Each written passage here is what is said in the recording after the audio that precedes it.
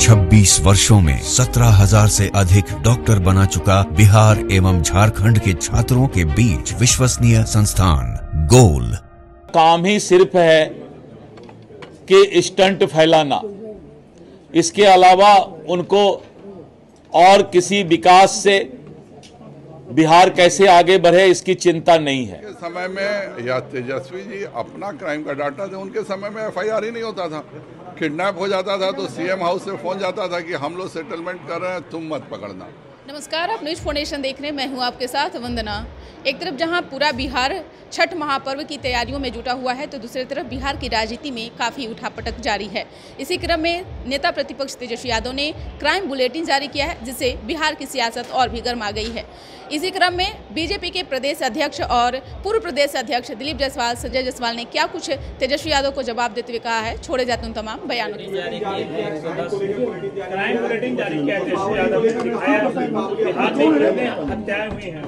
देखिए, ये कोई नई बात आप नहीं बता रहे हैं। इसके पहले भी उनका काम ही सिर्फ़ है कि स्टंट फैलाना।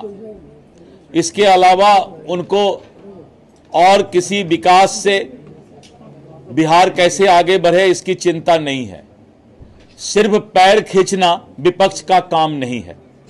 और जिस तरह से विपक्ष सिर्फ़ सरकार का विरोध करना, सरकार के खिलाफ बोलना विपक्ष की आदत सी बन गई है। सरकार को सहयोग करना, सरकार के प्रति सकारात्मक रवैया रख के बिहार को विकसित करना यह भी विपक्ष की भूमिका होनी चाहिए। लेकिन सर आपराधिक घटना भी पूरी कहा है कि अत्याचार बढ़ गया है। सरकार सरकार कानून का राज है बिहार में। एक एक चीज़ पर सरकार की पैनी नज़र है और कानून के दायरे से कोई भाग नहीं सकता है।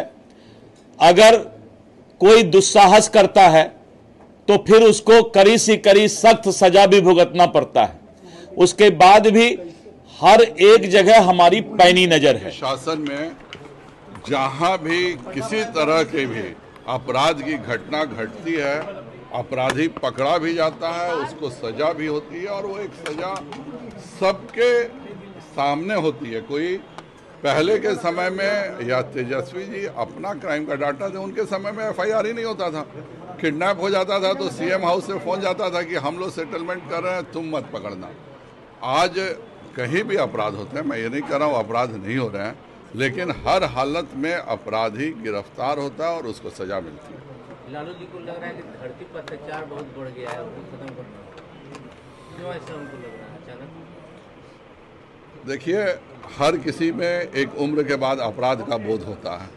लालू जी ने जितने अपराध किए हैं लालू जी ने जितने निर्दोषों की हत्या करवाई है लालू जी ने जिस तरह से नक्सल को बढ़ावा दे करके और कास्ट वॉर करा करके हत्याएँ करवाई हैं, जितने उन्होंने अपहरण करवाए हैं, उन सबों के कारण आज जब एक पचहत्तर वर्ष के बाद बोला जाता है, वानप्रस्थ आश्रम हिंदू धर्म में होता है, उसी के तहत वह अब आज ईश्वर से अपनी गलतियों की माफ़ी कर रहे हैं कि जो पंद्रह साल में उन्होंने जितनी हत्याएँ की हैं, जिन्होंने उनके ज़माने में जो अपराध इस धरती पे बढ़ा था, उसके लिए वह अब ईश्वर से माफ़ी मांग रहे हैं। झारखंड में क्या माहौल देख रहे हैं? झारखंड में दो तिहाई से ज़्यादा सीटों से एनडीए निश्चित तौर पर जीतेगी। मैं लगातार वहाँ पे गया हूँ और झारखंड में जितना पॉजिटिव माहौल है यह पिछले तीन चुनावों से भी ज़्यादा। यहाँ कोई लड़ाई नहीं है चारों सीट हम जीत चुके हैं।